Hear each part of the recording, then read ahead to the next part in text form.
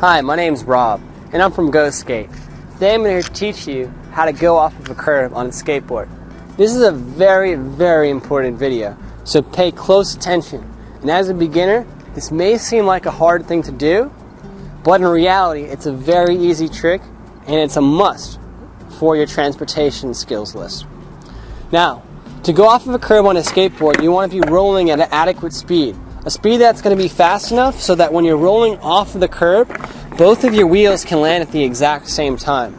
Now, to go off of a curb on a skateboard, all you need to have down is your turns and your pushing. You do not need to know how to ollie quite yet. Next is step two.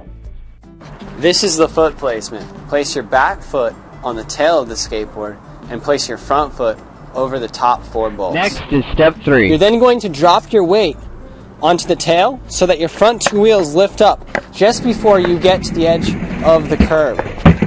You want to be going fast enough so as your weight is on the tail of the skateboard that it's pushing off and coming down onto all eight bolts at the same exact time.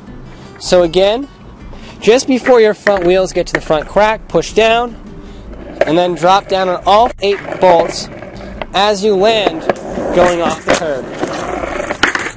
Here's the recap. Step one is to get adequate speed. Step two is to get proper foot placement. Step three is to time the lifting up of the front two wheels. And step four, land on all eight bolts at the same time and absorb the impact. Going off of a curb is very simple. As a beginner, you might want to have a, a buddy hold the front of your nose as you go off the first few times. After that, you should have it no problem, and going off of a curb is a very simple, fun, and easy thing to do. Now go out and practice it yourself.